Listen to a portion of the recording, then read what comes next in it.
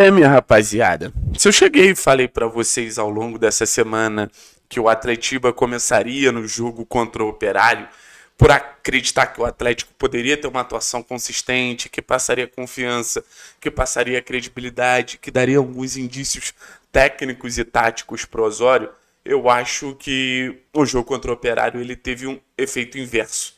Ele pode ser muito útil nessa perspectiva de Atletiba que acontece no domingo, mas não é para a gente se inspirar no jogo contra o Operário. É para a gente pegar o jogo contra o Operário e entender o que a gente não deve fazer. O jogo contra o Operário, de alguma forma, virou um grande alerta para o Atlético de se você continuar fazendo as coisas como elas vêm sendo feitas, você vai ter muita dificuldade no seu principal jogo nesse início de temporada, porque no final das contas o jogo contra o Operário foi muito ruim.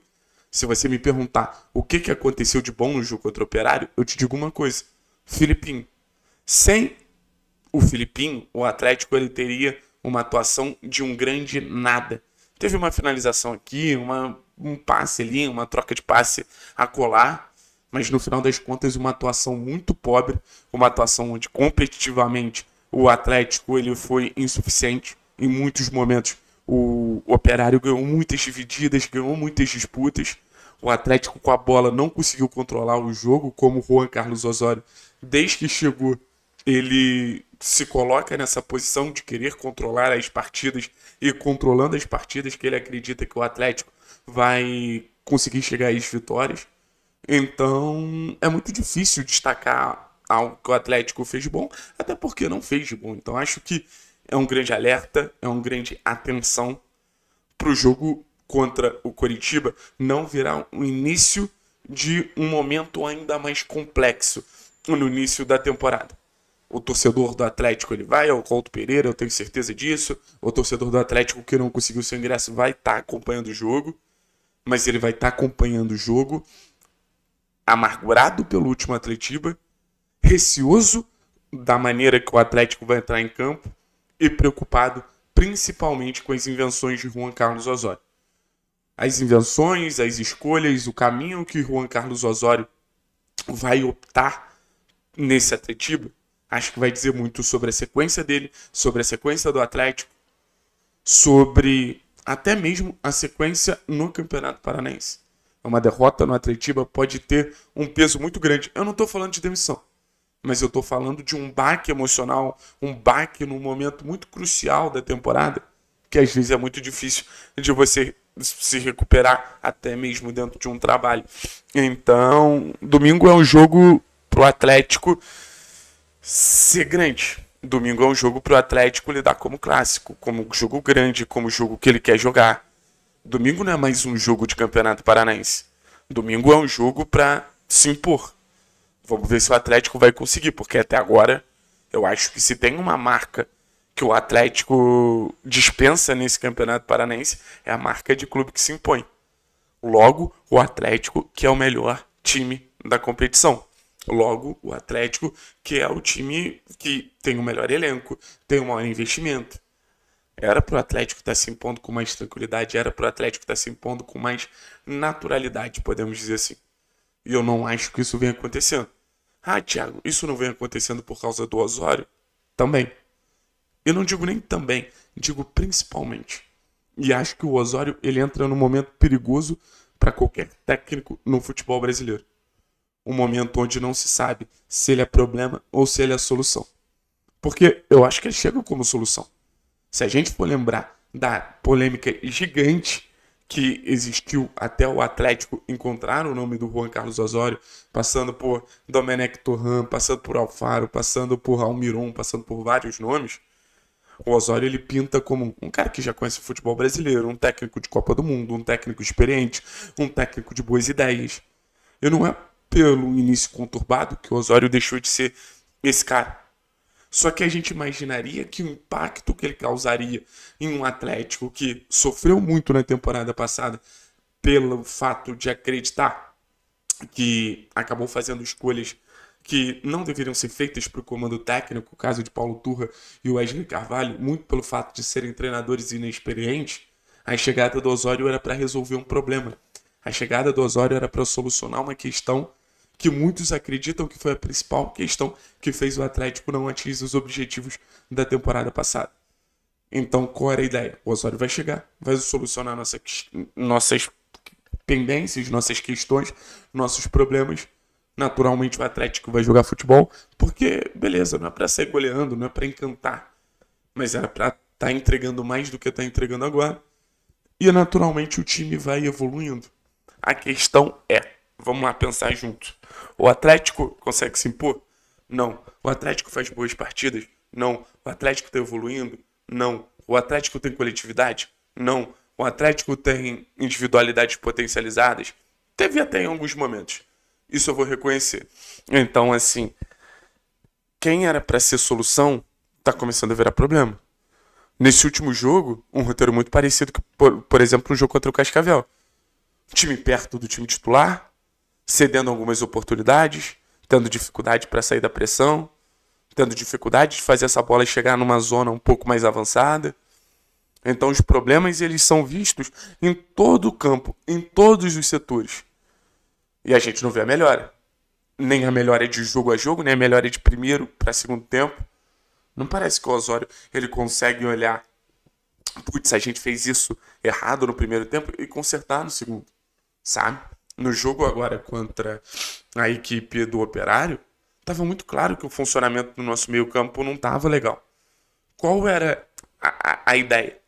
Sai o Eric, que estava jogando absolutamente nada.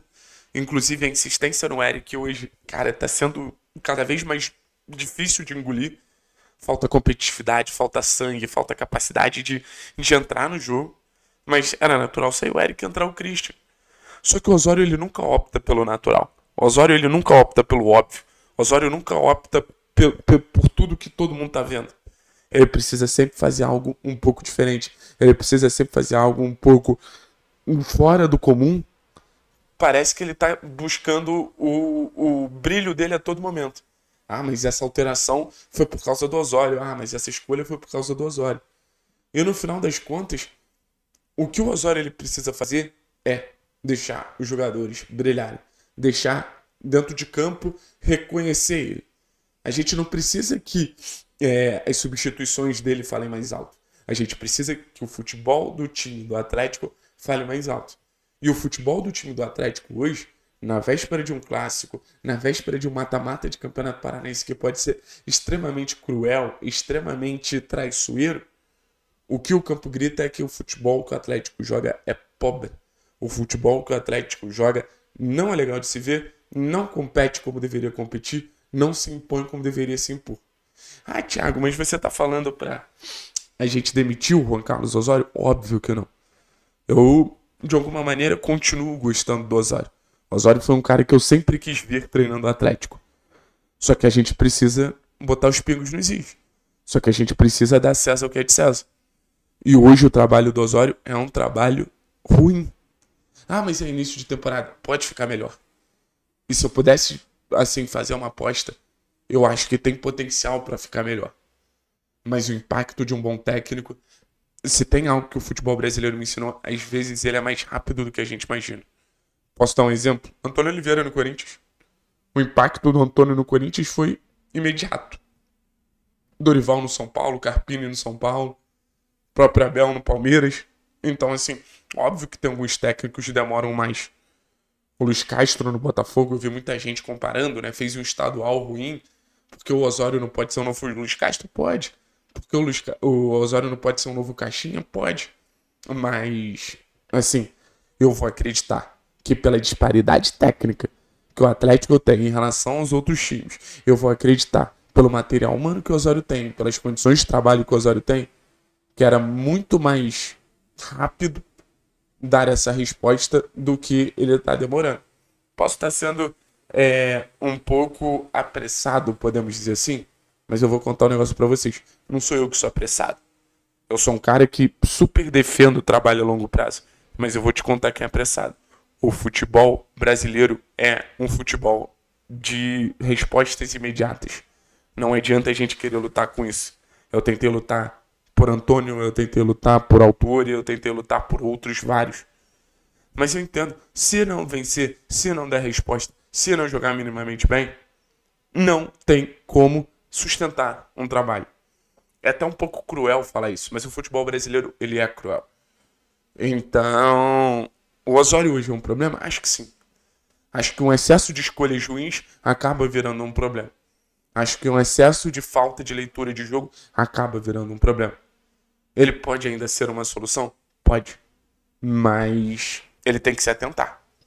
Ficar batendo no peito como se nada tivesse errado parece até um pouco. Assim, não vou nem falar arrogante, porque eu acho que é, é, é da áurea dos treinadores ser um pouco arrogante. Mas eu acho que é um pouco. Assim. Burro. Burro. É muito mais fácil reconhecer o erro e acreditar que vai melhorar e trabalhar para melhorar. Mas fingir que nada tá acontecendo é, é, é burro. Dá para dizer que o Osório tá sendo burro nesse sentido. Não nas escolhas. Porque eu acho que não existe escolha inteligente e escolha burra. Existe escolha ousada e escolha um pouco mais conservadora. Mas ele tá sendo burro por negar o óbvio. E não que ele não possa fugir do trivial. E não que ele não possa optar por caminhos que não necessariamente a gente escolhe. Eu acho que o Osório ele tem o suficiente para fazer o simples. O simples é chique, é o menos é mais. Eu vi muitas temporadas de Masterchef, né? E se tinha algo que o, o, o Fogaça sempre falava para os participantes é menos é mais. Acho que o Osório está precisando ouvir esse conselho. Professor Osório, dá para dizer com tranquilidade, menos é mais.